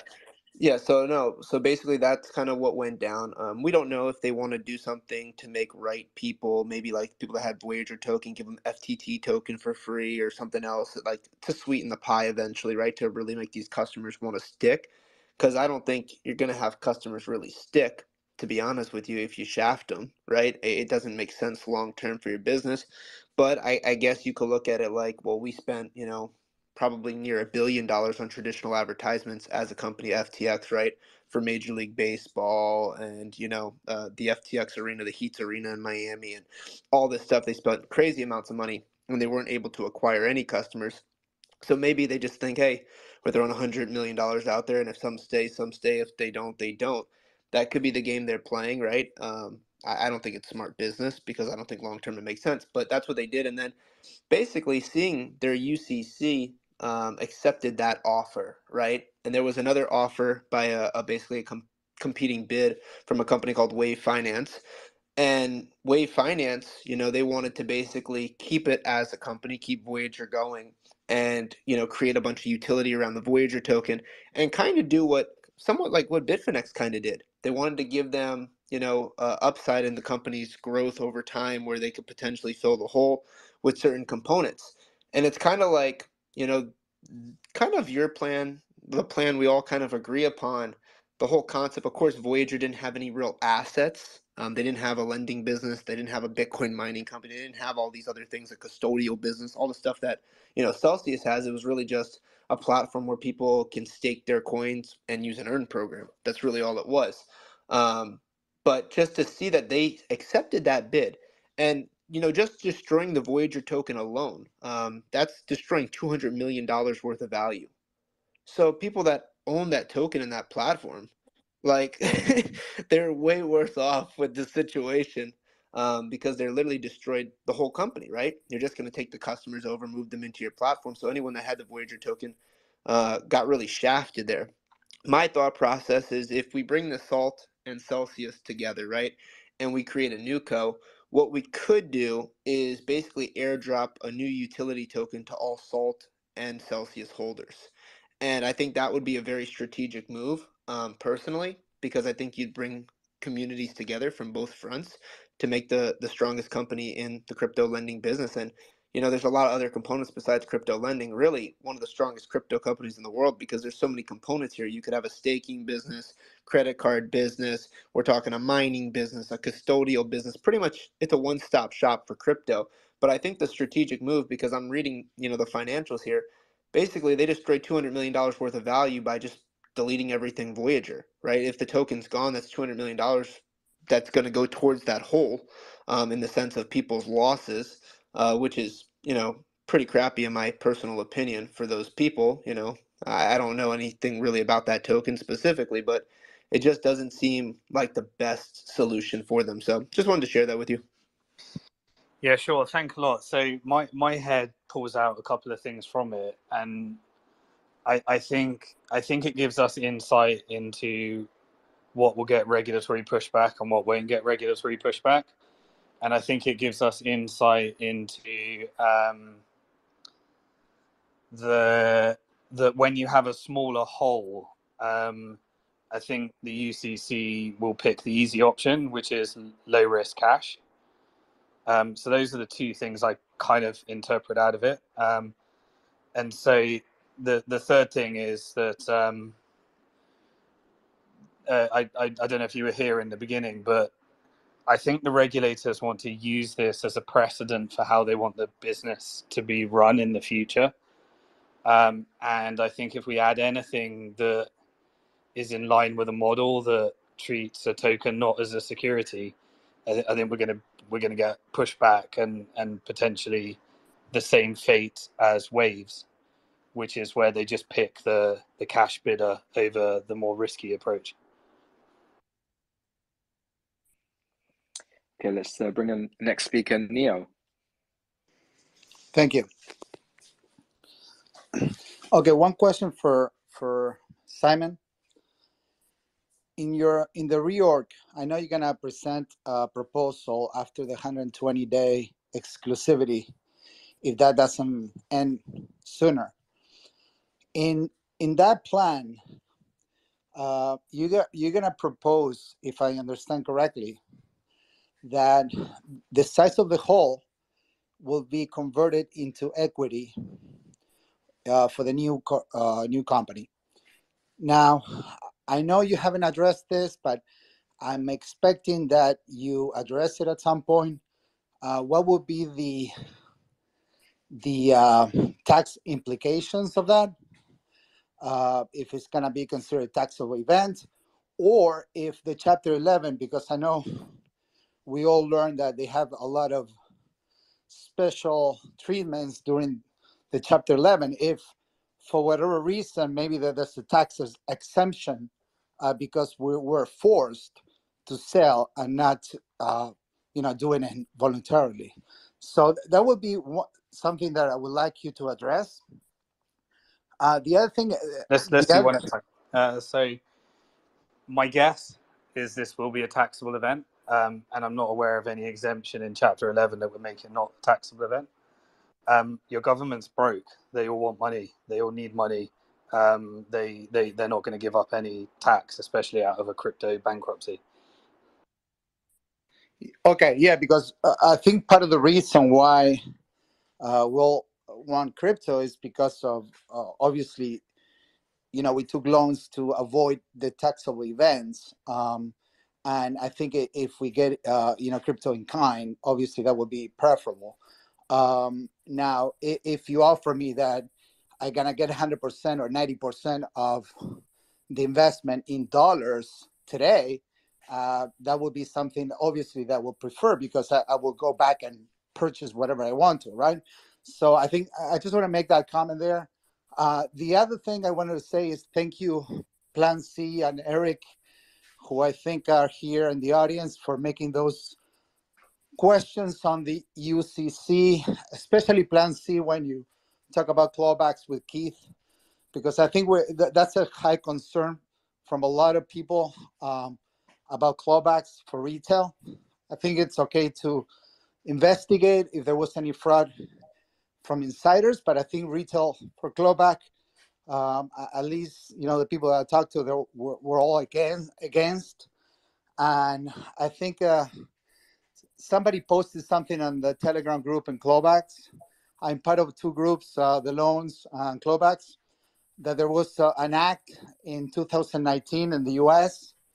where um, they're asking the trustee to do some due diligence uh, because in the past they were sending a lot of demand letters and they were causing a lot of uh, chaos in the process. And now I think one of the changes in the law were that they had to actually do some due diligence. So one thing I wanted to ask you, uh, Simon, is what what does that due diligence look like? Maybe this is more a question for the next UCC uh, space, but I would like to know a little bit more details of what type of due diligence that they doing, and also they mentioned that they're more prone to do settlements that um, that discovery because the legal process is expensive. So also I wanted to learn a little bit about who are they talking to the UCC to you know settle on these cases. Uh, yeah, I don't think I could answer that one. Unfortunately, the the UCC um, they're not telling us because they can't tell us, and they're obviously settling because they think it's going to be cheaper. Uh, I think it's one for the town hall. Really, I don't think I could answer that. Okay, we've got nine minutes left. Um, so let's bring on Jimmy Z. Jimmy Z, can you hear us? Okay, let's go for 4AD.eth. 4AD, can you hear us? All right, let's bring on a few more people. Ron Paul Botts. Hey, I'm I'm here. Okay, for AD speak. Go ahead. Your question. Okay, look, my question is regarding loans. Uh, I've been talking yesterday with some people in the loan groups, and the thing is, there are many international customers that, as you know, uh, we are not not allowed anymore to use our crypto in earn accounts to pay for interest for loans. So now they are asking, they are only accepting cash, as you know, and they want um only wire transfers, you know, and Yeah, can you can, can I that? Um, UCC covered this yesterday. They said um, just uh, like this was. Is crypto loans here? Do you want to? He'll probably give a better answer to us. He probably knows more about it. Yeah, yeah, yeah. If he, if he can, I think I talked to him yesterday, and the general consensus seems seems to be to not send them any cash. Yeah. Uh, so because uh, for some Azad, people in crypto loans up? for some I'm people in some countries, for some people in some countries, for example, for me, to pay a ridiculous interest uh, of one percent, that is less than a dollar a month, it would cost me like a hundred twenty dollars just just to send that uh, that That, yeah, that's that trust, Hey, uh, yeah, you know. th- hey, Azad, thanks for bringing me up. Thanks, Simon. Yeah, I know the UCC did address it. They said from the 341 hearing with Chief Financial Officer Ferraro, who's now the Chief Restructuring Officer, that yeah, loans are not being liquidated. They're not sending margin calls. The The problem is, and this is what I've addressed, is that the Celsius loan team is still sending out emails to borrowers saying that their principal payment is due. So my concern now is if an unsuspecting borrower is to wire in money to a bankrupt platform based on those what I, I call them phishing emails fraud emails in a last ditch effort to get borrowers to send money to a bankrupt platform when they don't know what's going to happen to their collateral that to me constitutes wire fraud and should an unsuspecting borrower wire in money to Celsius, C suite executives need to be charged with wire fraud. Hmm. Their salaries need to be zeroed out. And then from their personal financial wallets, they need to be charged with wire fraud. And a financial penalty needs to be sent back into the debtor's estate to make retail investors whole across custody, earn, and borrowers. It is criminal what is going on right now with the Celsius executives and the company. And I'm, I'm it's glad to see that retail users, whether they're borrowers, custody, and earn, starting to come together, not only hold Celsius accountable. We've been successful in getting Alex Mashinsky out from his position. I still have concerns about him being a director in charge of 1.88 billion dollars, as well as one of his friends on the special committee uh, tasked with investigating him and what he's doing. But I, I still have concerns. It's been addressed to the UCC, but Celsius, just to be clear, continues to this day, this morning, is sending out emails to borrowers telling them to wire in money that their principal payment is due. Yeah, Okay. that's shit. Thank you for bringing that up. Just, just, just to clarify, I, I, I am not willing to pay any, any principal. I was just talking about interest because I don't, I don't want to be twenty-four seven. Yep, well, hundred looking percent. And, and the other thing that is all they send out this email. They say, "Hey, in the bottom of the email, they said this could change at any time. We hope to be able to inform you. exactly. We may not be able to inform you." So one of the, Exactly. the reasons a borrower constituency is so organized is because we know that Celsius does not have our best interests at heart.